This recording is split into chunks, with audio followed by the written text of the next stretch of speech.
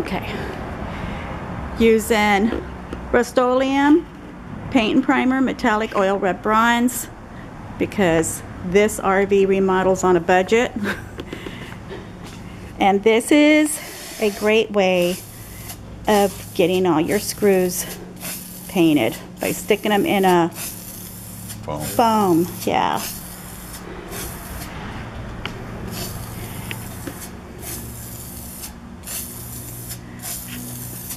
And we didn't want to spend the money on the new hardware because we will probably be getting a different trailer in a couple years.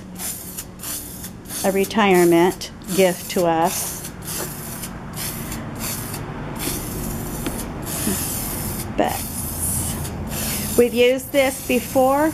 It works pretty good. And it holds up pretty well. This is only, let's see, the back part of the trailer, which is the bedroom and the bathroom.